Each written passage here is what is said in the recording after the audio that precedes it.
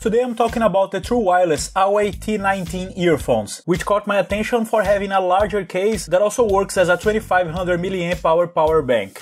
Awei is a brand I already reviewed in a previous post and they left good impressions. Let's see how this model goes then. The case indeed has large dimensions, although it still maintains a suitable shape to be kept in my pocket. It's all made of plastic, partly matte, partly glossy, and it has a battery indicator LED that's very useful. The connection ports are at the front, protected by a small cover. We have a common USB for power bank function and one micro USB to charge the case itself. The capsules ended up being a positive surprise for me, since they have an ergonomic shape and fit nicely in the ears. I recommend that you test the spare ear tips that come in the packaging, because it was one of those that provided me with the best possible fit, and of course, the best sound experience. Controls over songs are made by these touch-sensitive areas in each capsule. Honestly, it's a good touch solution because it makes it very clear where the sensitive area is. That is, you can adjust the earphones without accidentally pausing the song or so.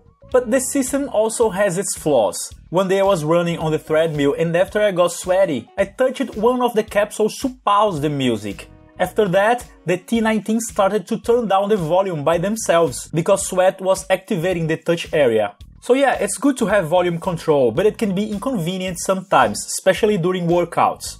Oh, and as you can see, each capsule has its own LED glowing lights to indicate power. It's a beautiful effect, I must say, but it will be there all the time. If you often listen to music in bed at night next to your husband or wife, ask them if this will be okay. Regarding sound quality, my impressions were actually better than expected. The T19 integrate the Hall of warm audio earphones, since they emphasize bass and treble. They stand out in pop and electronic music, maybe hip hop, and in genres like classic rock, the vocals can be a little bit muffled. But in fact, I just heard all genres anyway. In comparison to other famous earphones like the Redmi AirDots from Xiaomi, I would say that the T19 has a slightly more dominant bass, which can drown out the mid-tones more intensely. The battery, it's not exactly a highlight, but it's good. In continuous use with volume at about 80%, they lasted 4 hours before turning off.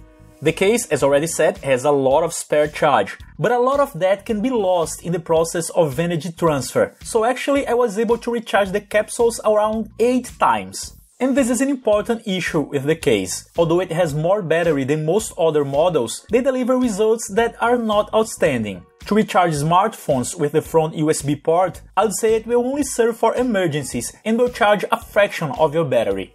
In my use, I have to say that these were stable earphones, which didn't present any signal drop, and the IPX5 water resistance made them go through a rain without damage.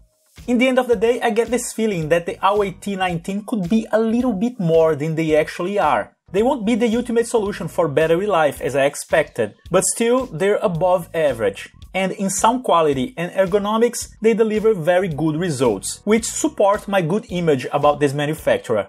Price is around $30 and this is a reasonable range for those who want to try something different without spending a lot. If you're interested in purchasing them, the link where I got this product is at the description below the video. Don't forget to like and subscribe and I see you in the next one. Bye!